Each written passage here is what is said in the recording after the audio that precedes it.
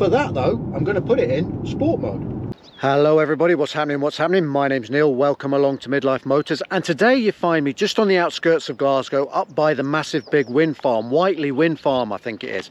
Now the reason for this is we're going, we're going electric today. I've wanted to uh, come and have a go at this car. In fact, I've, I've driven it once before. I wanted to bring this car to the channel for a while now, but it was available about a year ago and lots of videos were coming out about the Ioniq 5 and I thought well let's just leave it let everybody let the hype go and then we'll revisit the car after 12 months and 12,000 miles and see what it's really like. I mean I know the journalists uh, got all excited about it a year ago but what is this really like after a year in use? First things first let's have a quick look around. I think you're probably quite familiar with it. And a few things that I'd quite like to point out though handsome looking thing this. I like the the driving lights that are on at the moment. Also the uh, along the front here at night time that's a light bar that lights up which looks really tron-esque which is quite cool. These are the fins at the bottom which open and close to keep the battery cool.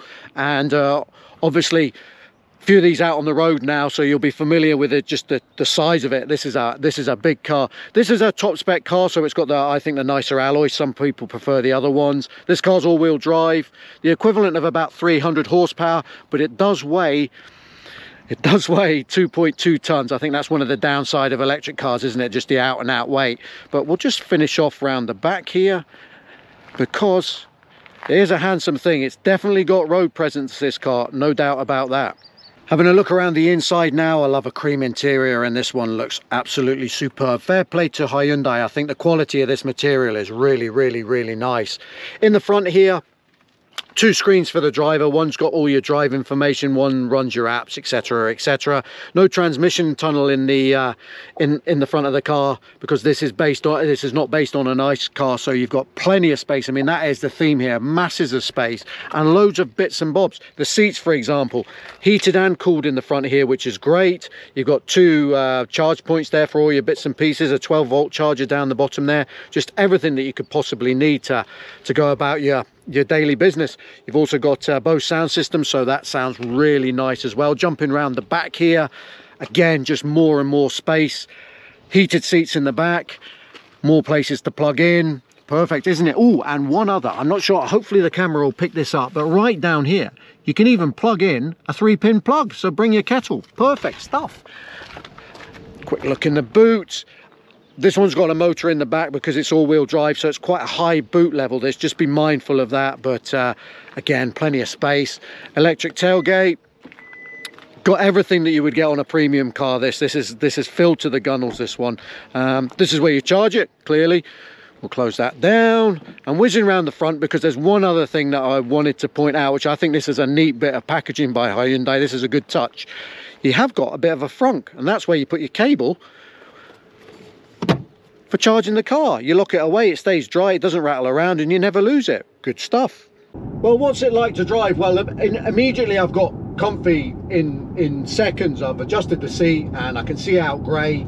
Steering wheel, pedals, all in nice. Steering, steering wheel's a little bit upright, you know, like a like a bus, which is a bit, it's taking a bit getting used to, but it's it's fine dials are all really clear. I like the way it's set up here. Battery's telling me we've got 60 percent left 132 miles of range. The paddles here you'll be used to them in probably your own car for changing gear. In here they do the regenerative braking so they either turn it up or turn it down. I've turned it to zero because i just want to see how the car drives want to feel what the brakes are like. Looking straight ahead i've got a heads-up display as well which is quite useful so yeah all in all it's easy to jump in and just go. I'm not it doesn't feel into the size doesn't feel intimidating. I'm not struggling to keep it in its lane or anything like that. Yeah it's good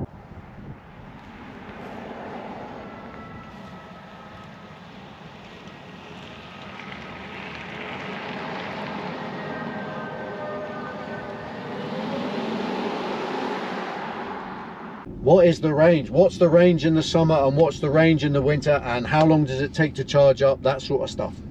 Yeah the range of the car in the summer is around about 210 220 miles. The range in the winter is considerably less. I reckon this car is probably going to get you when you're negative you know minus five temperatures your range is going to be somewhere in the region of about 170, 180 miles. So it gets hit quite bad. Yeah, it gets hit badly, and also if you, depending on what charger you're using and how cold the battery is, it can take longer to charge. Um, and this is all from a car that has a claimed range of 285 miles.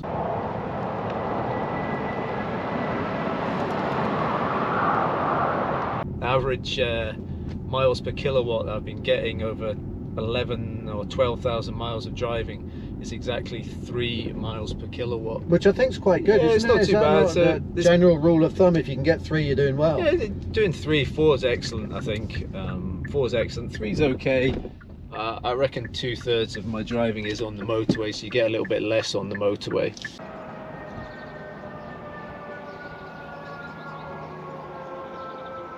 And you're charging at home now, so you were saying that the, the public network is, didn't really do it for you. So you just charging every night? Is that more or less how you do it? Yeah, charging every night. Just plug in um, with a few hours of cheap rate electricity. Yep. Just program. The car actually does the programming. You Oh, program okay. when you want it to start and stop, and as soon as you park up, you just plug in, and it, it charges during the the off-peak electricity during the night, um, and it's really economical from that point of view. Um, you're probably looking at around about I think about three pounds a night gets you somewhere in the region of about 90, 90 miles range. That's so pretty good, it's- yeah, it's that's not, pretty good. not particularly expensive. We've looked at various bits of the car. What's your favourite bit about this? Is your first electric car? You're saying. What's your favourite bit about this car? What's the best best thing about this car? Um, I think it's the low down torque. It's the the grunt you get coming pulling out of a ju- junction and Yep. the ease with which you get it. There's no lag. There's no delay. Yep. And you can just floor the throttle from a, any speed and you just rock it away. This you never tire of that. well, the thing is, this isn't this isn't a particularly fast electric car. This is the all-wheel drive. Yep. ultimate version uh, of the Hyundai's Ioniq 5 with the equivalent of sort of 300 Yep. horsepower. But it is a fairly heavy car. But the torque just overrules the weight, to be honest. And, and I think that's the that's the good, the best thing about the car. And then when you just cruise in, it's got quite a soft setup. It's not. Yeah, it's got a nice not ride. it's not a back road bruiser. This one. This is really just a um, a car for wafting about in. Slip road onto a motorway. I think that's this car's secret weapon. And what is what is the main negative? I mean, most journalists go, "Is the weight. Is the weight." Is it? do you- I don't really feel the weight. Is it? That's not Yeah, really the, main the negative. torque the torque masked masked the heavy weight Yeah. um, and, and uh, so you don't really feel the weight I think if you s- started to throw the car around a bit you would notice it but uh, it's not really that kind of car and the tyres that the car comes with uh, are absolutely hopeless um, I think they're designed for um, minimum rolling resistance they're, they're Michelin EV tyres Right. and, and if you start pushing on especially in the wet I've had push on understeer and I've had on throttle oversteer. Um, you don't really know what you're going to get. So it's not a, it's not a great mixture to be honest. That's not the perfect recipe. You know the tyres wouldn't be my first choice um, on, on any car. I'm using the regenerative braking. We're coming to some lights. I put it on level one, pull the pad, level two, pull it again, level three. And it's actually bringing the car to a more or less complete stop. There we go, and that's it stopped on the i-Pedal. And then I press to accelerate, and away we go. I can take some of the level off. Three, two, one. That will allow the car to coast. I think this is the thing that us non-electric car drivers are going to have to get used to in the future because that does chuck. I mean, we were down, we've just gained five miles of range almost using that pedal for a couple of miles. So I think that is, everything else just seems kind of the same, but that's something you'd have to get used to. You're not changing gear, you're adding braking. Fair enough.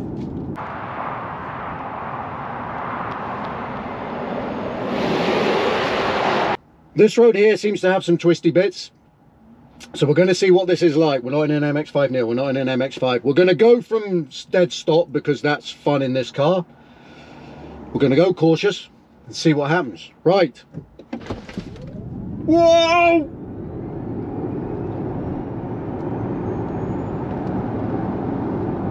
Onto the brakes. Get the way over the nose. Try and turn it in. Bit of throttle. Rear drives it round. Handy that it's four-wheel drive, definitely. Carrying a bit of speed through there. That's nice. That's nice. I'm not I'm not harassing the car. I'm trying to be gentle with it. I'm trying to just you can feel I am feeling the weight. Oh yes. Not not not too leany, not too rolly, but you do feel the weight. Keeping a always keep a little bit of throttle on it and then punch it out of the corners and it just picks up, which is nice. Car's telling me to stay in my lane, so there's a clue. Around here. Yeah, it's very much uh, brake early. There we go. Get off the brake, get on the throttle, turn early. Yeah.